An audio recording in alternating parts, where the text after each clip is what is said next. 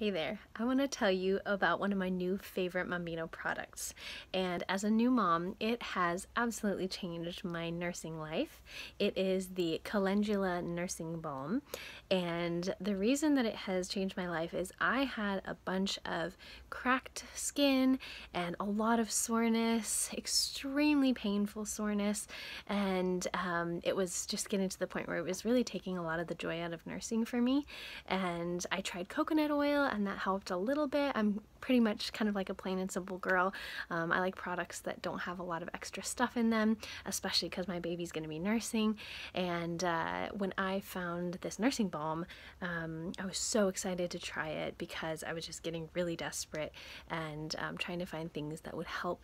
And uh, it is so amazing. Um, it also has olive in it, and it's got a bunch of super amazing, really natural products. It's so cool because you can leave it on. Um, after you put it on, you don't have to wipe it off for your baby to nurse, which is amazing. And um, it just comes in like a chapstick style container and uh, it's just so easy to use it the bottom screws up and um, I really feel like this is gonna last me a while but I honestly use it um, super frequently. Uh, my favorite is at night just before I go to bed and then I will often use it throughout the day as well and um, it's just been amazing. So want to tell you about it? All you mamas out there definitely worth giving it a try. Um, you are worth it. Your baby is worth it and uh, it's worth it to have the joy of nursing. So thanks for watching watching.